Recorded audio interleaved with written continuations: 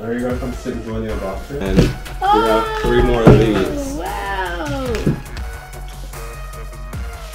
Kind of big. I didn't think Yeah, they were that way big. Next up, we got. Oh, it's all Oh, a you gotta build it. There's the castle. Meanwhile. Oh. If you want to enjoy something like this, go ahead and try it. If you want to see, watch this video, it may help facilitate you building it a little bit easier because we are masters.